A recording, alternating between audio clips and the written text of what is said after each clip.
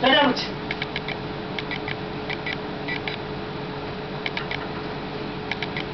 일단 내 예측으로 듣고 우리 얼마. 얼마 보지 그렇지